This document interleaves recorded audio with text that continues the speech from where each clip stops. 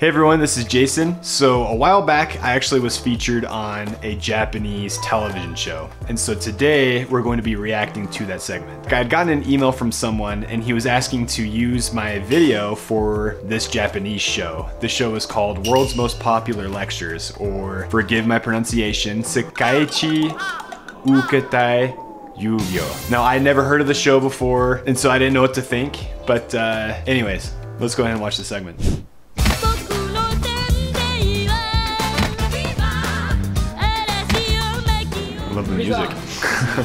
去年あるアメリカ人クリエイターが公開した日本の動画が反響を呼んでいます。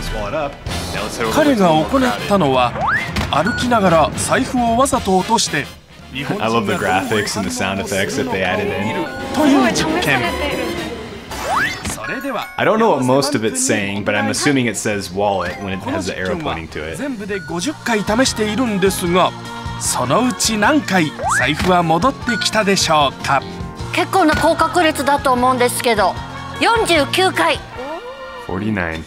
正解は So it sounds like they're trying to guess how many people return it.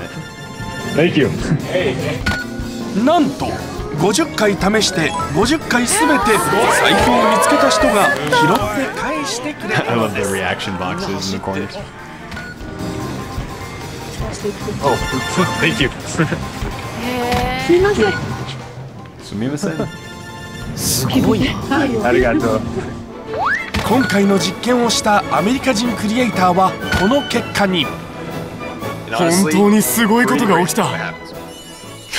感動 日本人の心に根付いている思いやりの心それをよく My friends, I showed this video to them and they they'll make fun of me. Like whenever I say something goofy or awkward, they'll just put their hand up and make that face that I made in the video. But uh, anyways, yeah, it was just super cool to to watch this video and uh, to see that it was on this this show in Japan. After this video aired, I actually got a bunch of messages from my friends in Japan. You probably heard from or your friends, you are a celebrity in Japan now. Your video was broadcasted in one of the most popular TV shows that is aired in the prime time of Saturday evenings in Japan. Congratulations. In the show, a TV personality is asked how many times do you think the wallet was returned when they show your video. The show is aired every Saturday and the April 10 show was on how Japan is seen by people outside of Japan.